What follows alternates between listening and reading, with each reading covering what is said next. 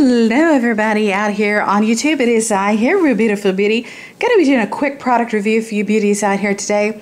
This is a product that I have repurchased over and over and over and over again.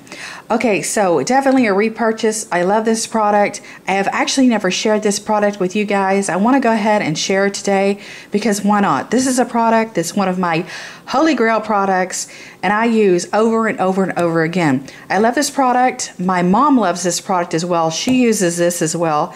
She has used this for a few years. Also, we both love this product. And sometimes a really good facial toner is hard to find or a facial astringent is really hard to find. Okay, especially ones that don't burn the skin.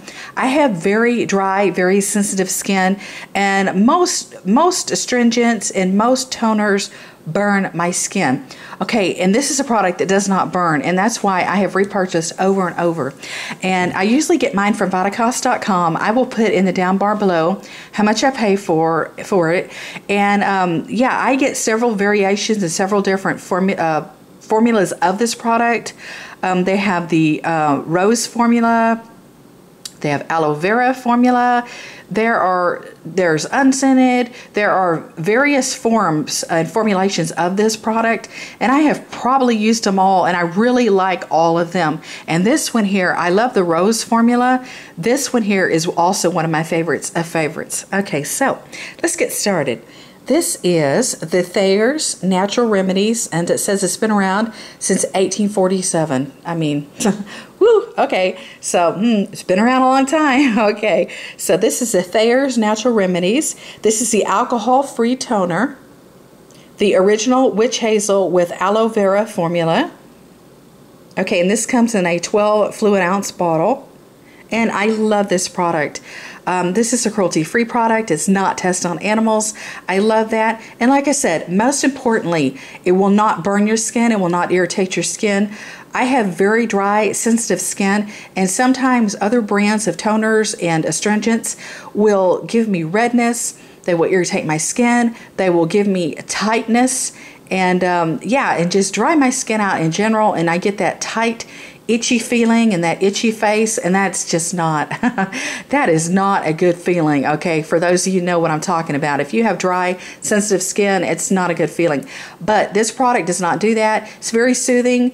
It does not disturb the moisture barrier level of my skin whatsoever. It does not strip my skin. It does not dry um, my skin out and it works fantastic to remove the remnants of my cosmetics or my makeup.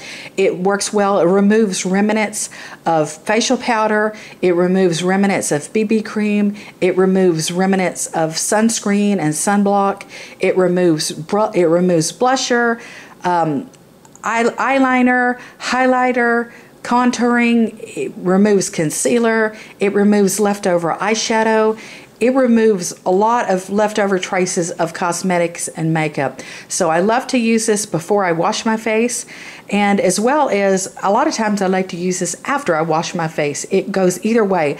Sometimes I will use it before I wash my face. Um, sometimes I will use it after I wash my face just to get those leftover remnants of cosmetics and makeup uh, that were left over that your face wash didn't get or that you just did not scrub off for the day. Okay, so yeah, I love this product. Not sure if I can really show you any more specifics. It's just the back of the bottle. The liquid is clear, obviously. Okay, it says it's with certified organic witch hazel and aloe vera. Okay, and you know, you just use this like you do any other facial toner or a facial astringent put it on a cotton pad, put it on a cotton round, put it on a cotton ball, and you're good to go. You know, basically as simplistic as that, okay? So you use it just like you do any other astringent or toner, facial cleanser.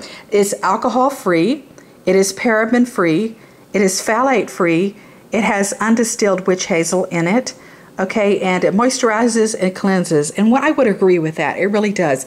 Like i said it does not disturb the moisture barrier level of your skin whatsoever. I love it. Take it from me. It's one of my holy grail products. I repurchase over and over i will share uh, how much i paid for it in the down bar below like i always do. I love you beautiful ladies so much. Be sure to give me a thumbs up. Be sure to give me a like. As always subscribe. Bye beauties